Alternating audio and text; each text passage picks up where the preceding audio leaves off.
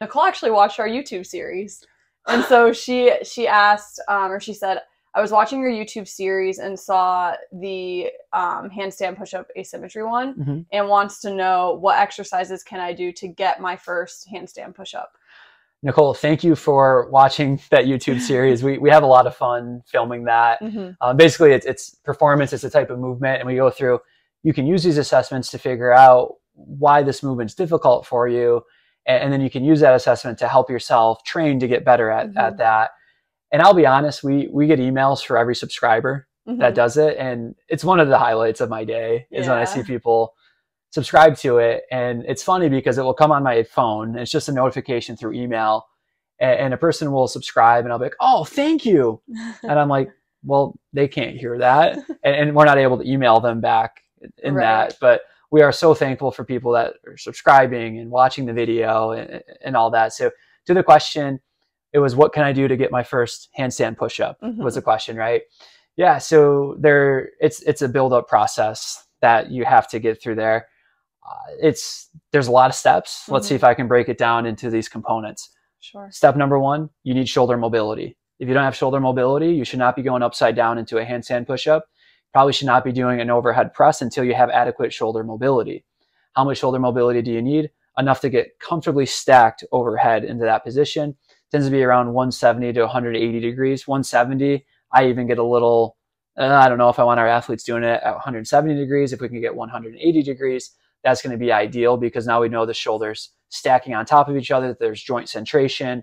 It's a, it's a healthier position. They're not compensating through the back by this big arch. It's just better for the body if we have that shoulder mobility. Mhm. Don't skip steps. If you don't have shoulder mobility, work on shoulder mobility. Mhm. Once you have shoulder mobility, which is the passive ability to get this thing up over your head. So this would be like, Brandy, take my arm, lift it up over my head. So Brandy lifted my arm for me. That's passive range of motion. Active range of motion is now me lifting it by myself Mhm. If we have passive range, but we don't have full active range, we do not need stretching. We need motor control, stability, endurance work. So once you have mobility, now we get into that phase, looking for stuff overhead, prone wise, prone tees, dynamic stability for the rotator cuff. Take care of that foundation first, and then start working towards it. Another thing I'll add into this bucket is, and, and we show this in the video. I think we do. Yeah, we do. We do show Mm. this one but we're doing a vertical press up overhead. When we squat, we're so focused on equal weight through the legs. When we're doing a handstand push up, one coach that I had, phenomenal coach, she told me a handstand push up is an arm squat. if you're doing an arm squat, make sure you have equal weight through your hands. And I was like, dang, I've never thought of that before, but that makes so much sense.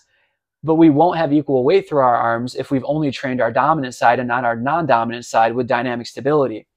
So we love to use a long sitting, uh, bottoms up kettlebell overhead press test to Mhm. see how many reps you can do it. Brandy hates this test. I'm so. when I'm we were filming it, she was like, Do I have to do the one modeling this one? I was like, Yes, because then people can see what it looks like if there's a asymmetry or deficiency that needs to be worked on. which, which I have. Yeah, and you you did a great job showing it and, and you're working on it. Uh, so, so you want to make sure that you have that foundation before you ever even think of going upside down.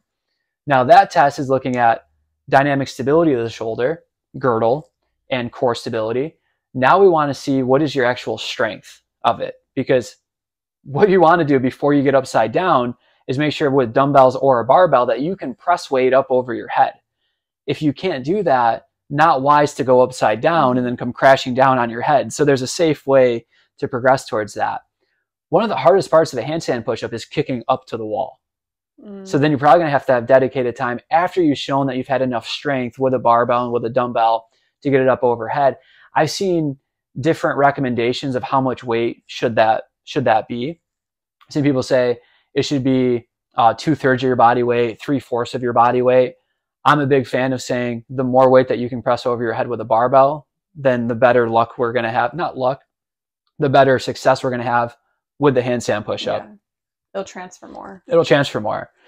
But as you're working on building up that strength, you can start working on kicking up to the wall, doing it safely, having a mat underneath to get into that position. So all of those things come before you ever even attempt a handstand push up. One thing I forgot to mention, you can use pike push-ups Mhm. where your feet are on a box and then your your head's on the ground, your arms are on the floor, and you're using that to build up reps and to get conditioned into being upside down because your breathing changes when you're upside down, your stability is changing when you're Mhm. upside down. So there are some things that you have to get conditioned to um, to be able to do this. So all that comes before you ever even go for the rep of the handstand push-up, but it's worth it. It's a lot of fun Yeah. like once once you get it. But then once you kick up to the wall, we might just do an do an eccentric. Lower Mhm. yourself down to the mat and then kick off of it.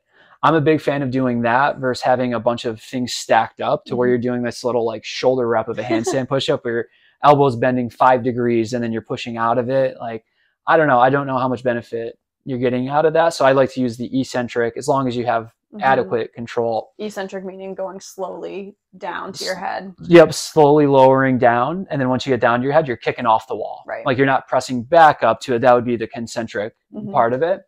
So yeah, working on the eccentrics, continuing to build up strength with the barbell, getting more comfortable upside down, and then go for a strict handstand push-up. Mhm. Right? So many times people will go for a kipping handstand push-up first. No, no, no. You haven't built up enough strength to be able to earn the right to be able to use that power. Like people will do it, but that's when we start seeing injuries. So Mhm. build the strength first, then go to kipping. I was actually thinking about this last night. Weird thoughts at night, but like if you're having trouble squatting a weight, you can use bands hooked up to something above you to help pull the bar up to get out. Mm-hmm. You can just take some weight off, but maybe you want to get conditioned to that weight. So I was thinking of this with a handstand push-up of what if we looped our feet into the band, hung the band over the rig, you held our held my feet, and then I could get more handstand push-ups in. And then I realized, no, that's that's not safe. That's not worthwhile doing Do not try that at home. but I will say that's the hard part with a handstand push-up is there's not a lot of assistance Mhm. that you can get from that. Like you can have a friend hold your legs. All right, push, and now I'm going to give you a little bit of a pop Boost, going yeah. up. But in reality, it's getting the pure strict strength using dumbbells and barbells first, getting comfortable being upside down, and then that that'll transfer Mhm. over to it. Brandy, I want I want to know your thoughts on this because handstand push-ups are something that traditionally have been a challenge, not just for you, for, for everyone. It's a hard movement Mhm. to do, but you've gotten to the point of progressing from pike push-ups to now kicking up to the wall to now being able to do an eccentric. And I, I think by the fall that you're going to be able to do that first handstand push-up. That'd be so cool. But. Anything I missed in there, any advice that you have? No, I that? think I think the biggest to wrap up everything you just said, it's really just follow the right process because I think we get so excited. Like when I walked into my CrossFit journey, I was like, "Ooh, I would love to do handstand push-ups or handstand walks or ring muscle ups. Like those just look like such fun movements, but I can't do them and I've been doing CrossFit for a year or two now. I, I would I did CrossFit, but not really for like a year. And then Dylan was like, "You need to when people ask you if you do CrossFit, you can say yes." And I just like felt awkward about it, so I didn't. But like in reality, I've been doing CrossFit for a little bit. But like I am, I'm following the journey. I'm following the path. I'm and I'm striving to do it um the the right way that's the best for my body you know Mhm. and so i really hope maybe by the time that this episode is launched i can do one that would be so cool but yeah, um i think you know the for me the thing that i didn't realize was that i would get dizzy a lot like Mm. what the vestibular system like my brain just goes crazy and so build, building up the upside down work Mhm. has has helped a lot and i think the other biggest thing like obviously nicole you're asking this question because you're excited and you are eager and you want to do it but i also recommend um if you're eager and excited but also a little nervous like do your best to trust yourself trust the strength at like during the process because i think for me sometimes i'm like i'm afraid i'm going to fall still or i'm afraid that if i fall i'll get hurt or i don't trust that i'm going to when i do kick up that my hands are going to be far enough out from the wall like those little things and so as you're building up strength as you're doing the process that dylan explained also trust like your body and like what you're doing with your body in that because i think that's also very important yeah. So so discipline, right right? Because there's so much temptation around it of, oh, but I could just go and kip, or I Mhm. could stack up five ab mats and do an inch handstand push up. And ask yourself, well, what is your goal? And, and what's the temptation that you need to be disciplined to? Because i i will fully say this that i very much used to ego lift Mm. all the time. For my first three years of crossfit i was with like my best friends and and we still all do it. We're just all in different parts of the country now. Mhm. but we'd all get together and it would be like we'd had a have an hour break during class. So we'd go to the crossfit gym and we would just throw down and we look back at the way that we were working out and the way that we were training and we were like oh gosh Yeah. hopefully we did that so that we can coach people of, the, of exactly what not to do Right. you know like for one of us it worked out who's a crossfit games athlete Right. but but for the rest of us we're like okay yeah we were doing way too much too soon hmm for a long time, I could squat snatch more than what I could overhead squat. And that's still the case. And it's something that I'm now working on because I realize I skip steps. And yes, I can squat snatch and I can get heavy weight, but I'm doing it by compensating. I'm using load to get into the position because I haven't created enough integrity to get to the position on its own. Mm. So now, after this is my eighth year now of doing it, I've had to go back with a PVC pipe and learn how to actually overhead squat Mm. to get in a better position to be able to actually snatch because I just compensated, compensated. And guess what? I hit a plateau.